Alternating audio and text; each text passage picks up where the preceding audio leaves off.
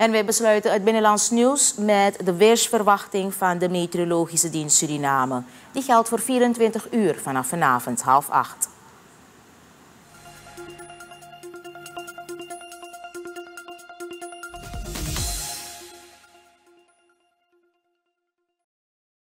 Tegen het einde van de nacht kan er lokaal nevel of mist ontstaan, vooral in bosrijke gebieden. Morgen blijft het grotendeels droog en zonnig.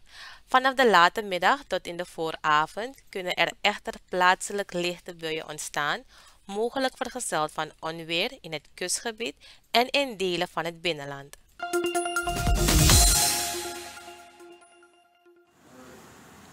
De meteorologische dienst waarschuwt dat voor morgen de gevoelstemperatuur rond de 40 graden Celsius zal zijn.